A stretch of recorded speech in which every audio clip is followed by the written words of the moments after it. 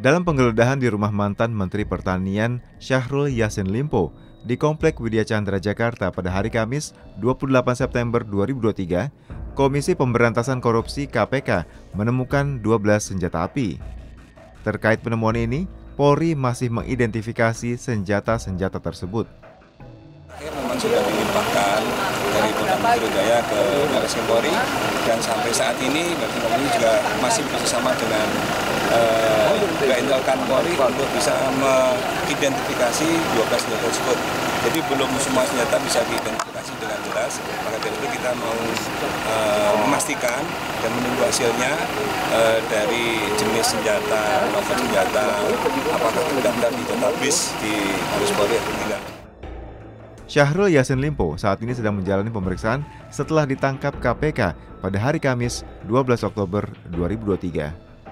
Tim Liputan Polri TV